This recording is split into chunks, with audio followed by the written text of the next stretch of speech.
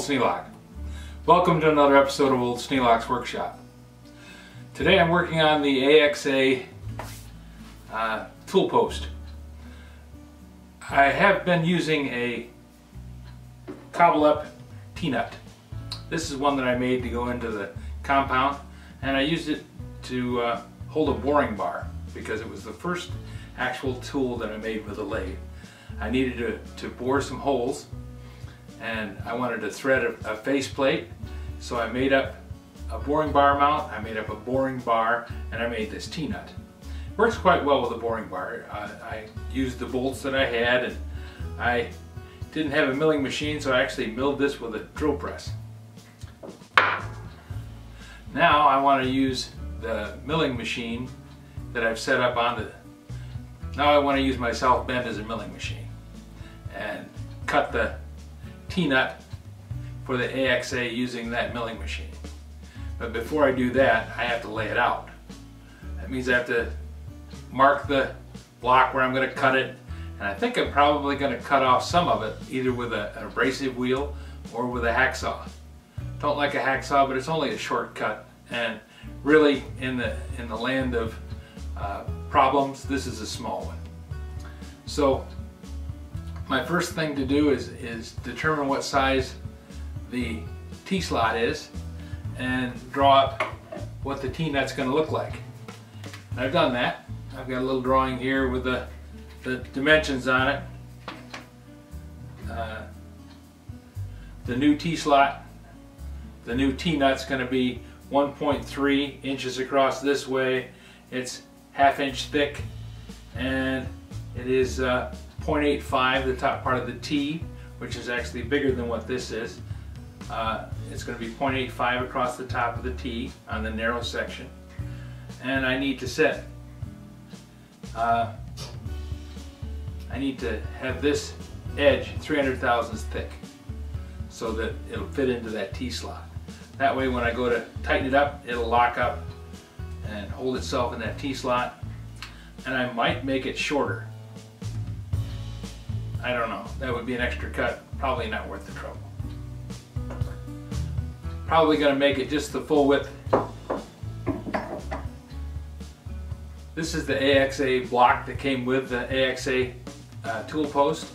It's set up so that I could cut it to size to fit my lathe because it's kind of matches all different kinds of lathes. They do sell a South Bend T-nut, uh, but I have a threaded block and I have a hacksaw and I have all the stuff to mark it out. It's just a matter of cutting it.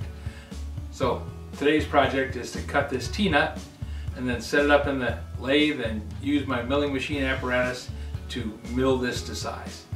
And really, I should have everything cut with a hacksaw pretty close to size and I'll just use the milling machine to square things up. If I'm careful, I can cut this almost to size and then maybe just file it down a little bit. We'll see if I can do it manually first because that's a better challenge. In these days of digital machines, CMMs that uh, can actually measure a block, if you just set it on the table and hit a button, it'll go along and measure all the axes and tell you what size it is and actually make a print of the part that you put on the table. This is kind of old school, but when I first started, this was actually a pretty cool way to do things. Uh, you could do it manually. You could take your calipers and lay out the block and, and mark the lines on it. Mark it with Dykem and mark the lines on it. This one's black oxided, so I'm just using that as the, instead of putting Dykem on it. Uh, and you would lay it out and then you take your straight edge and you'd cut it and, or you you take your straight edge and your square and you lay out the lines and then mark it and cut it.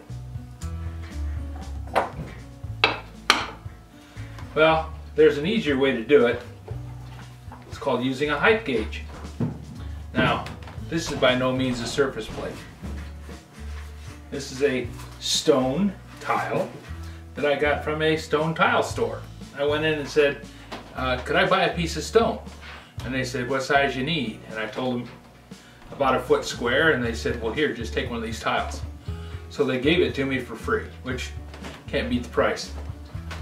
And it's flat. the same equipment that they use to make surface plates, they use to make these little tiles. Now, it's probably not within two tenths of a thou like a tool room surface plate, but I'm making something for my workshop. If I got a surface plate, I'd probably have to pay a hundred bucks for it, and I'm going to use it once a year if I do a lot of work with it. So it's really not worth the trouble for me to get a surface plate. And this plate works just fine.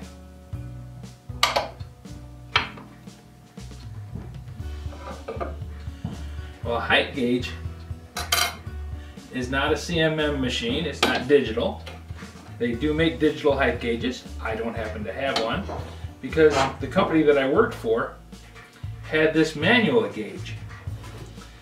And it's got a vernier scale on it, which is really old school. Doesn't even have a digital, doesn't even have a, a sweep dial on it. And they marked it as not calibrated. And they said it wasn't worth uh, calibrating. They said it's for reference only. So they were going to toss it out. And I said, well, if you're just going to put it in the garbage, I'll take it home. So that's what I did. The thing about this kind of height gauge, if you got a set of Jo blocks, you don't even need the verniers. You just clamp the indicator, you just clamp the bar onto it.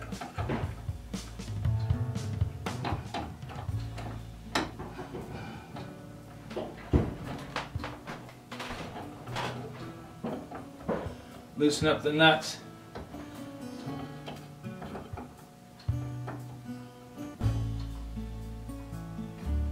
Slide it down until it sits on the Jo block.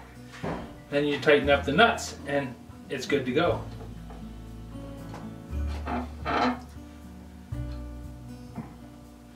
You can set it for any size you want. Now in my case, I don't have Jo blocks. Probably would be nice to have a set of Jo blocks, but I don't own a set. But then again, I don't need them the stuff I'm working on. I know what it is and I can use this to do the things it does well and do the other stuff with different means. Using my vernier calipers I can read that this block is 1.869 across. So I'm going to check my height gauge. I can take my height gauge go up against this known dimension, 1.869, and they read exactly the same. 1.8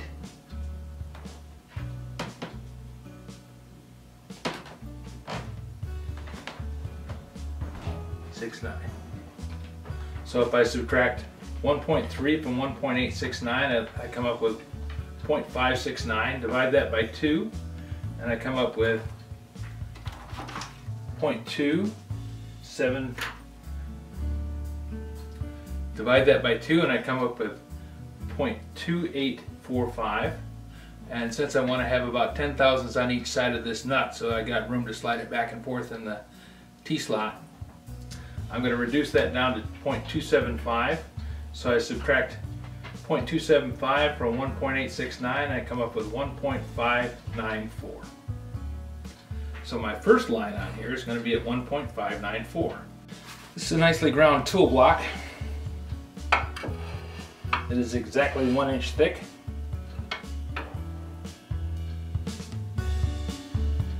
And that's going to let me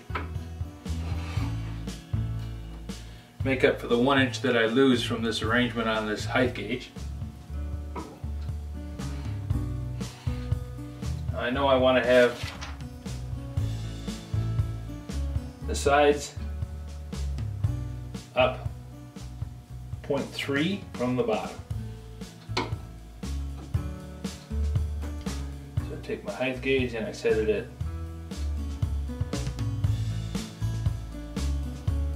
0.3 lock it in place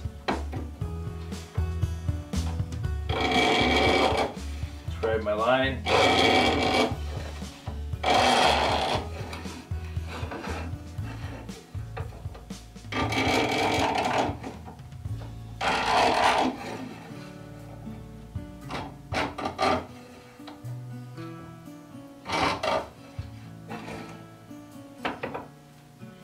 And I have two nice little marks right across the, the sides of the thing, just where I want them.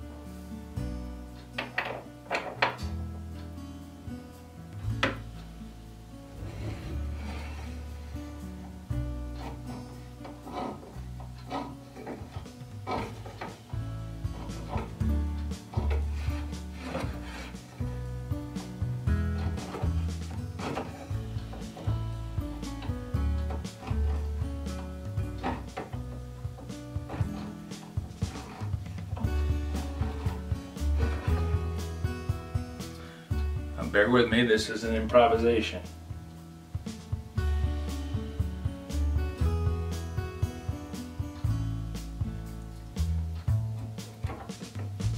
So now I have two lines going that way. That's where I have to cut off this bar. Then I'm going to have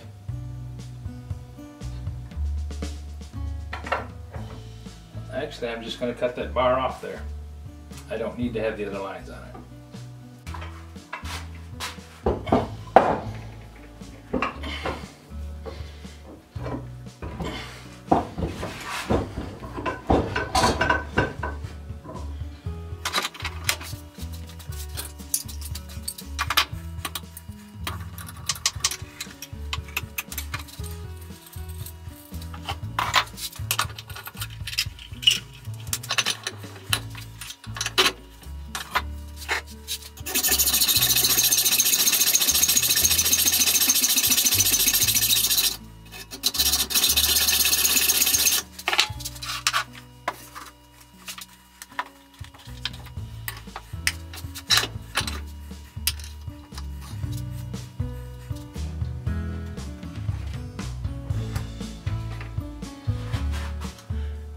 Myself. I wanted to lay out these two lines also so that I can cut the, the T-shape. And I wanted to do this while this was still full size and everything was squared up. I subtract the width of this top section of the T-nut from the width of my original block, which is 1.869. The width of that top section on the T-nut is 0.850. So 1.869 minus 0.850 is 1.019. I divide 1.019 by 2. And that's 0.532. So 1.869 minus 0.532 is where the first where this line is going to be on the block. I'm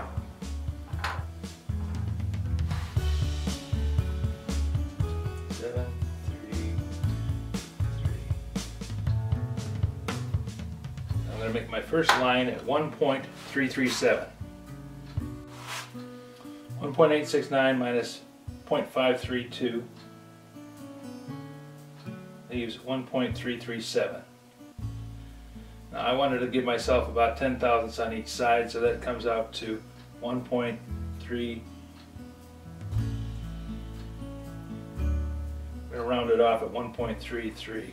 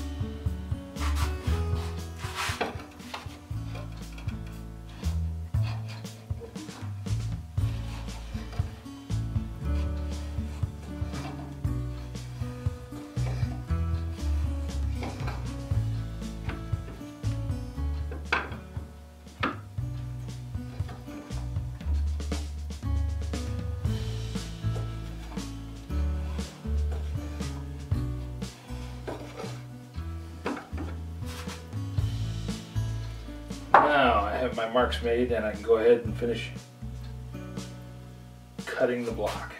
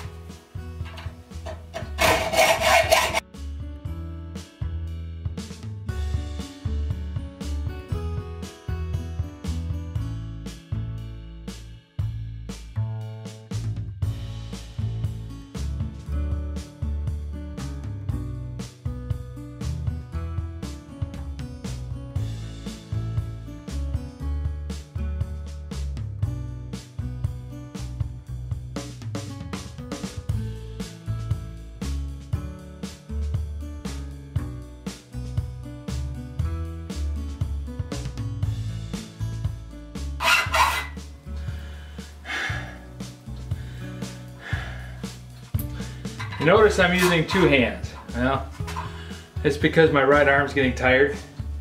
I see a lot of guys actually using a hacksaw like this.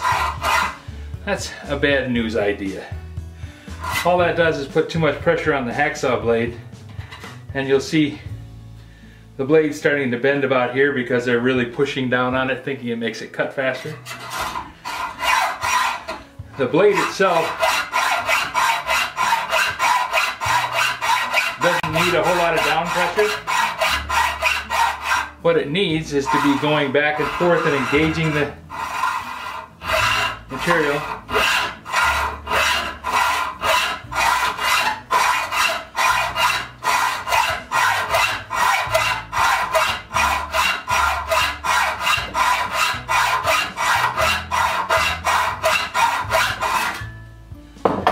Pressure only overloads the teeth and causes them to dull more quickly.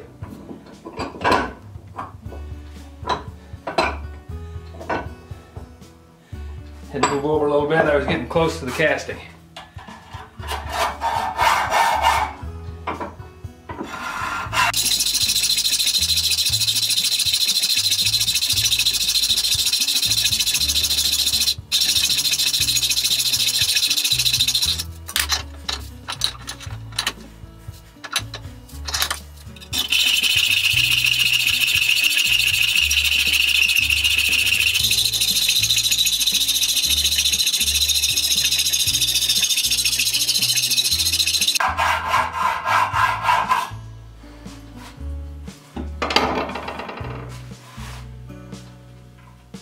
That little piece is going to be plenty warm because I put a whole lot of vibration in, or uh, I put a whole lot of friction into it. This piece, which is a little heavier, and also was engaged in the vise as a heat sink, doesn't get as warm. But I got warm, so I'm going to stop for a while.